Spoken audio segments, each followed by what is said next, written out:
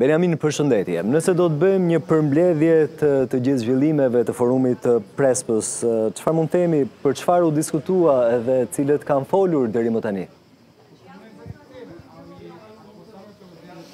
Përshëndetje Ilir, atëherë ka pas disa panele të ndryshme me panele tematike në kuadër të forumit për dialog në Prespë, të cilat kanë trajtuar çështje të ndryshme. ka pas pra dita filloi me forumin ekonomik këtu me panelin ekonomik në kuadër të forumit të Prespës, pastaj ka pasur edhe panele që kanë të bëjnë me të drejtat e grave, pozitën e gruas në shoqëri dhe në jetën institucionale, panele për bashkëpunimin me sektorin civil dhe mediat, ndërsa ndër panelet më të rëndësishme pritet të jetë Ky që sapo ka filluar ose duhet të fillojë në momentin që po flas është paneli i ministrave të jashtëm, ku do të flasin të gjithë ministrat e jashtëm të vendeve të rajonit, ndërsa ndër folësit do të jenë edhe Matthew Palmer pra i dërguari special i Shteteve të Bashkuara të Amerikës për Ballkanin, si dhe i dërguari special i Bashkimit Europian për dialogun Prishtinë-Beograd, zoti Miroslav Lajçak. Gjithashtu ka qenë edhe një panel tjetër sa i përket integrimeve evropiane, ku është prekur edhe çështja e momentit të keq që, që po kalojnë Maqedonia e Veriut dhe Shqipëria duke i bllokuar hapjen e negociatave si pasojë e vetos bullgare ndaj Maqedonisë së Veriut dhe Pakoja e përbashkët me të cilën po trajtohen Maqedonia e Veriut dhe Shqipëria. Po, Benjamin, pikërisht si u trajtua kjo temë, pra divergjencat midis Bullgarisë dhe Maqedonisë së Veriut?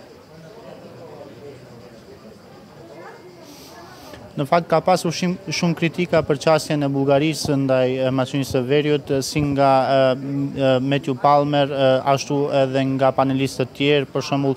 shumë ashpër ka qenë edhe Ish-raportuesja për Parlamentin Evropian, Tanja Fajon e kështu me radhë. Matthew Palmer, përfaqësuesi i Shteteve të Bashkuara të Amerikës, ka thënë se është i zhgënjyer që Maqedonia e Veriut dhe Shqipëria nuk filluan negociatat me Bashkimin Evropian. Edhe panelistët tjerë, sidomos ata nga Maqedonia e Veriut, kanë shprehur zhgënjimin e tyre tek Bashkimi Evropian për mosmenaxhim të duhur të situatës me Bullgarinë, ndërsa e kanë cilësuar veprimin e Bullgarisë si aspak miqësor dhe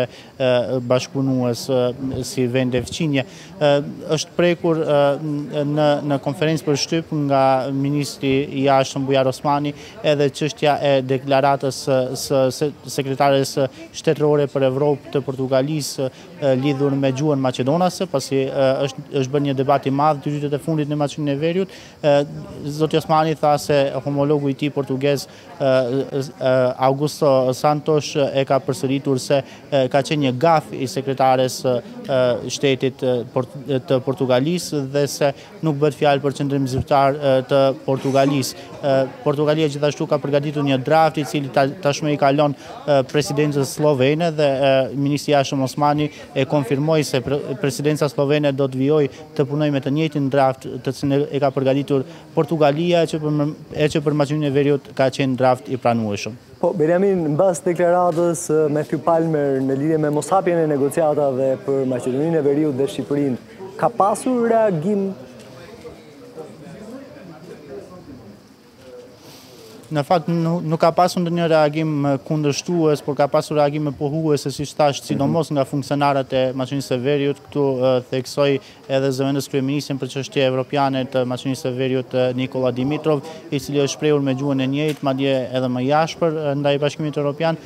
pasi sipas tij ka qenë detyrë e Brukselit që ta menaxhojë më mirë situatën dhe të mos vijë deri te bllokimi i dytë nga Bullgaria dhe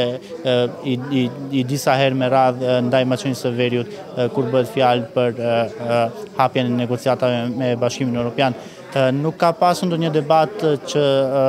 ose ndonjë ndonjë zë që e thotë të kundërtën e asaj që e thotë Palmer se madje edhe ministri gjerman për Evropë Michael Roth gjatë një prononcimi me video nga nga Gjermania në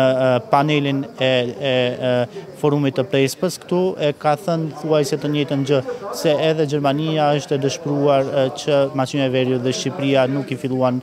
bisedime dhe nuk morën datë për konferencën ndërqeveritare me Bashkimin Europian. Po, Benjamin, ndërkohë, cila ishte qasja e panelistëve lidhur me diskutimet mbi financimet, mbi internetin, por gjithashtu Edhe në lidhje me agjendën e gjelbër, ku u fokusua zonja Bregu në lidhje me këto tema? Po, mes paneleve, zonja Majlinda Bregu, e cila është edhe sekretare e përgjithshme e Këshillit për Bashkëpunim Rajonal, i ka uruar të gjithë qytetarët e vendeve të rajonit për heqjen e roamingut dhe për krijimin e zonës roaming free këtu në Ballkanin Perëndimor dhe ka ka theksuar se është shumë e kënaqur që pikërisht Këshilli për Bashkëpunim Rajonal e ka koordinuar këtë dhe menaxhuar këtë iniciativë, këtë nismë për lirimin e roamingut të shteteve të Ballkanit Perëndimor. Ajo tha se kanë bërë përpjekje për 26 muaj e 26 ditë siç tha ajo, dhe është falënderuese që qeveritë e vendeve, mirëpo edhe bizneset, sidomos ato pra të telekomunikacionit, kanë qenë kanë kanë qenë bashkëpunuese dhe kanë arritur marrëveshje për lirimin nga roamingu. Ajo ka shpjeguar edhe detajet se të gjitha thirrjet dhe SMS-të do të jenë sikur të bëhen brenda territorit të shtetit, mirëpo për internetin varet nga operatorët operatorët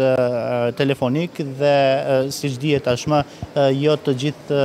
jo i gjithë kapaciteti i internetit do të jetë i disponueshëm jashtë kufijve të territorit, megjithatë